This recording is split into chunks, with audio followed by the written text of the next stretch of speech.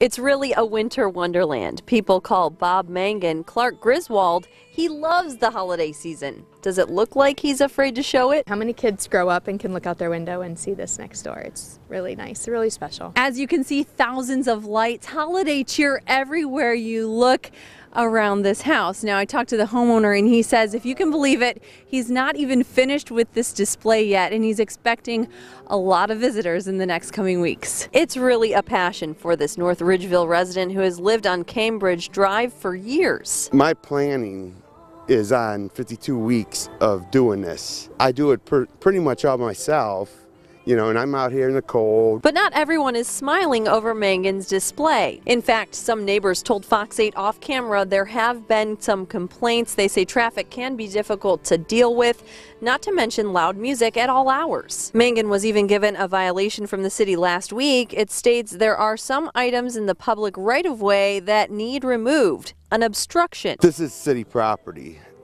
from the sidewalk to the street. While he recognizes the issue, Mangan wonders why it hasn't been a problem for the last 17 years. You get, you know, a stinker that, um, you know, has to try to ruin stuff. This Christmas lover says he's planning to appeal the violation and hopes to turn any frowns about this Technicolor creation upside down. The display's not going nowhere this year.